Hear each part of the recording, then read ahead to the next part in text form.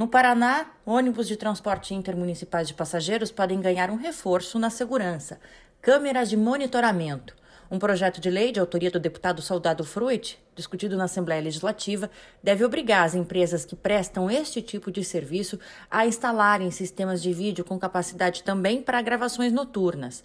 Apenas banheiros ou vestiários devem ficar de fora da área de alcance das câmeras na parte interna dos ônibus, segundo o projeto de lei. A proposta pretende diminuir atividades criminosas como furtos, roubos e violência, conforme explica o parlamentar. Bom, o objetivo desse projeto, né, é mais a questão de segurança pública mesmo, né? Com a instalação das câmeras nos ônibus de transporte coletivo intermunicipal, a intencionalidade é coibir a ocorrência de crimes, principalmente a questão de tráfico de drogas, tráfico de armas e também casos de importunação sexual, né? Os traficantes de droga aqui da região da Tríplice Fronteira normalmente usam adolescentes para fazer o trabalho de mula nos ônibus de viagem. Embarcam com, uma, com a droga em uma mochila e dentro do ônibus colocam a droga em uma segunda mochila não etiquetada.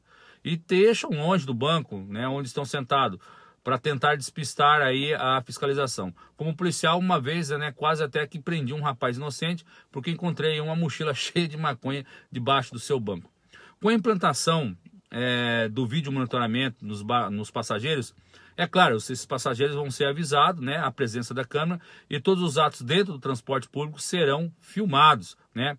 O que contribuirá, né, muito ainda para prevenir vários tipos de ocorrências, como tráfico de drogas, furtos, roubos, vandalismo, violência a qualquer situação que ponha em risco a segurança dos passageiros e funcionário do transporte.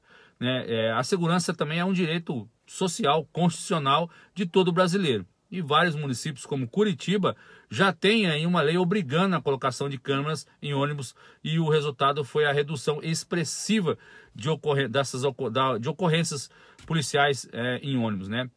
De acordo com o Departamento de Estradas de Rodagem, o DR, quase 25 milhões de passagens do transporte intermunicipal foram vendidas em 2020, apesar da pandemia de Covid-19. Em 2021, 3 milhões de bilhetes já foram comercializados no estado. Os números não incluem a região metropolitana da capital. Segundo a Agência Reguladora do Paraná, a GEPAR, 36 empresas têm permissão para operar 497 linhas intermunicipais de transporte aqui no estado. Se o projeto de lei for aprovado, quem descumprir a medida pode receber penalidades, como multa de R$ 1.100 por carro irregular. Se for reincidência, o preço chega até 10 vezes o valor inicial. Caso a repetição seja periódica, a empresa deve ter a concessão ou a permissão para funcionamento cassada.